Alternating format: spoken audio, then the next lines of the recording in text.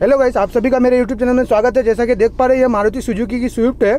2013 का मॉडल है petrol car है जेड एक्स है पेट्रोल कार है। तो आज मैं इसमें ऑल्टरनेशन करने जा रहा हूँ। एयर कंडीशन सिस्टम का कॉम्प्रेसर जो है ना, ये गाड़ी का कॉम्प्रेसर जो कंपनी से दिया हुआ रहता है ना तो एक बार फेल हो जाने के बाद रिपेयर होता नहीं है। इस वजह से मैं इसमें दूसरी गाड़ी का कॉम्प्रेसर यानी होंडा सिटी का कॉम्प्रेसर इसमें लगा लगाने जा रहा हूँ। तो इसमें सिर्फ़ आपको एक ब्रैकेट की ज़रूरत पड़ेगी कॉम्प्रेसर की ज़रूरत पड़ेगी और एक बेल्ट की ज़रूरत पड़ी है। तो चलो बाहर दिखा देता हूँ मैं आपको। ये रही।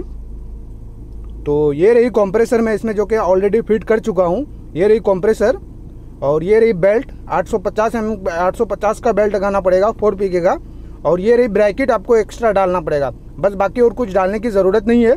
ये होंडा सिटी का कॉम्प्रेसर इसमें बैठ जाएगा। इजीली बैठ जाएगा। तो हेलो गाइज़ ये सब चीज़ें मैं आपको दिखाने के लिए और बताने और समझाने के लिए ताकि आप भी ये ऐसे परिस्थिति में फंसे हुए हैं तो वीडियो देख के आपको हेल्पफुल मिल जाए। तो चलो फिर मैं, जब तक के लिए बाय बाय टेक केयर अल्लाह हाफिज़।